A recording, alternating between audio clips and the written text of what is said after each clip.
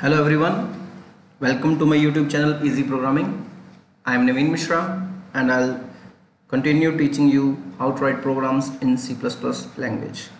In this video, I will cover the important topic of file handling which includes stream classes as well. The file handling implemented in C++ is very different as compared to file handling in C language. In C language, we use file pointers but in C++ using stream classes we can implement the file handling. Before I start this video please do subscribe to my channel and like and share my videos with your friends. Okay let's start with this video tutorial file handling and stream classes. So files in C++ what are files? So when I run the program whenever you write a program and uh, show and read the output whatever you do in the output is removed as soon as you close the output screen if you want to store this information for the future use then you must save this information in secondary storage such as hard disk and floppy disk the output of the program is stored permanently in these storage devices Generally, a file is a collection of related data items. That is, a file belongs to a particular record, student, bank, or employee's information. The file can be a text file or a binary file. Uh, that will not be any, create any difference. In C language, we used file pointers, but in C++ language, we will use streams.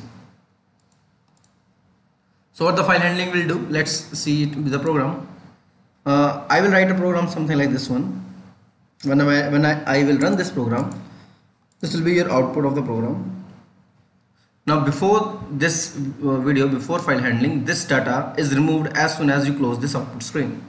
But now using file handling what I will be doing this this information will be stored in files like this one. Okay? So using file handling the output of the program can be stored in the uh, secondary storage using files.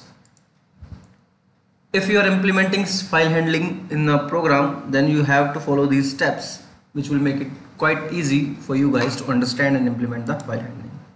So first of all you have to choose the file stream. There are three different file streams f stream ofstream and f stream. You have to pick accordingly. Then after choosing the file stream you have to open the file. There are two ways to open the file in C++ one is using open function and another is using constructor method. So this is the example here.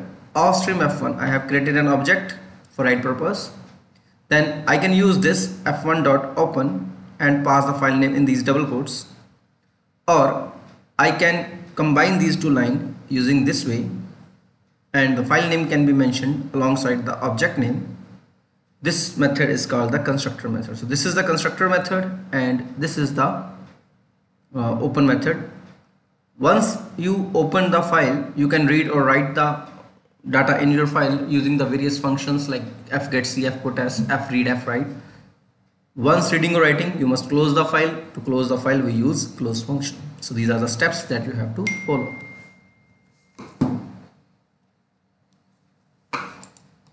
Okay now streams. So there are generally three stream classes in C++ which are if stream, stream and F stream. If stream I here I stands for input and F stands for file input file stream. Okay, so if stream provides input file stream. If you are reading the data from the files, then you will use if stream. You cannot write the data in the file using if stream. So this opens the file in the input mode by default and it this class have an inbuilt functions like these get getline read seek g and g using these functions you can read the data from the files. The next stream is ofstream. Using if stream you can input whereas using ofstream you can output the data in the file stream. So if stream is used for read data whereas ofstream is used to write the data in the files. It opens the file in the input mode whereas it opens the file in the output mode. And the functions included in this ofstream are put, put line, write, seek p and tell p. The next is f stream. The f stream is capable of reading as well as writing the data simultaneously in the file. So by default it opens the file for the input mode but you can change it accordingly as per your requirement. So these are the three stream classes available in C++. Okay. Uh, how the stream works in C++. So let me uh, let me teach you graphically how these stream classes work. Stream generally called the flow. So stream of water like flow of water, stream of data is considered by the C++ and using these streams the data is transferred from one location to another. Now let's say you have written a program in C++. Previously when you use cout and cin using control stream let's say this is the stream the data is passed from C from program to the output screen okay and the same way using cin you can read the data from here so console stream is responsible for reading or writing data into the output stream but using file stream you can read or write data from the C++ file into a file which is stored in the secondary storage.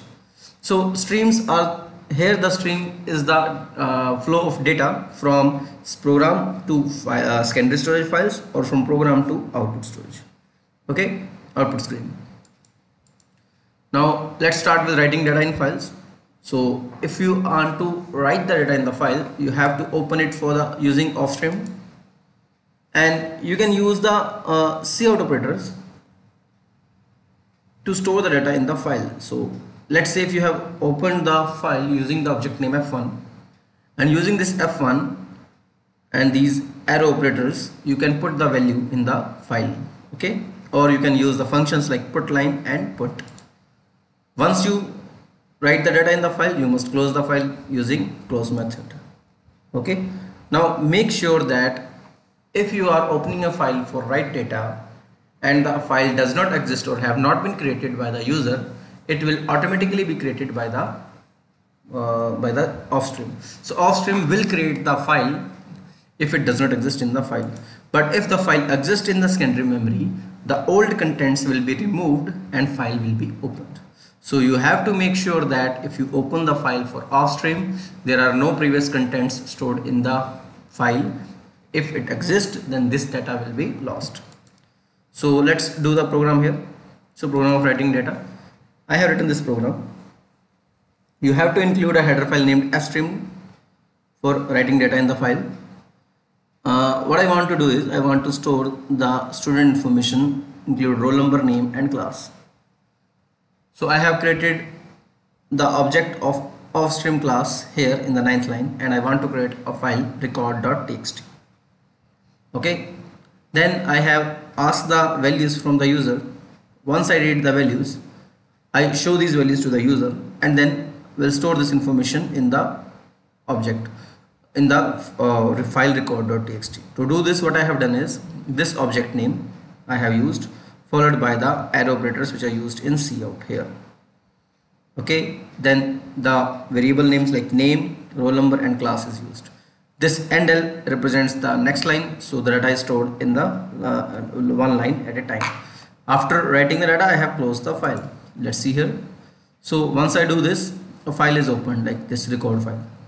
Okay, but there is no data. And when I run the program, this output is here. Okay, and this output is stored in the file using this 15th 16th and 17th line execution. So this is the program of writing the data. Uh, I'll show you how it works. I have already written this program to save some time okay? And uh, if you see the uh, directory where this program is stored you cannot see a record file here okay? So if I run this file and enter some values like 12 sorry. Uh, 10 just a second I have to re-execute this program. The name is Joe roll number is 12 and class is 12th okay. And once this program executes you will see in the background there is a new file record.txt which is created just now and the information that you have typed is stored here so if the file is the, the file does not exist then the uh, ofstream object will open it for you guys. Now let's start with reading data in the files. So once I have stored the data in the record file I can read the data from here using a stream. So almost same. First of all create the object. Then you can re read the value from these object files using value using this arrow operator which is used in cin or you can use functions like getLine and get. The, this is a misprint here. So these are these are getLine and get.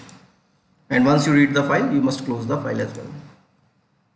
Now if you are opening a file which does not exist in the background then this if stream will create display you an error message. So you have to make sure that the file exists. Only then you will be able to read the data from here and if the file exists in the secondary memory the fstream class will open the file and the cursor will point to the first location from where you can read the data one by one. So I have written this program for you guys. Again I have used three variables roll number name and class.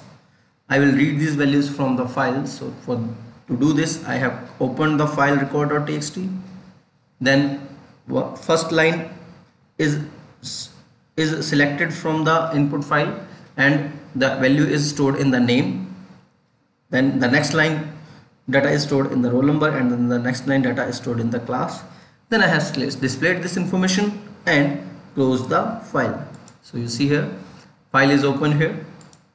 Then the data is read in the variables and then the program output is shown to you. So let's see this program as well. So this is the program of reading data. Let's compile and run and you see here this information is shown to you. If I change this value using this write operation like I will compile the value again and I'll say do 22 and 10 and if you compile this read data file again you will see the information is displayed to you. Okay? So this is that's it from this video.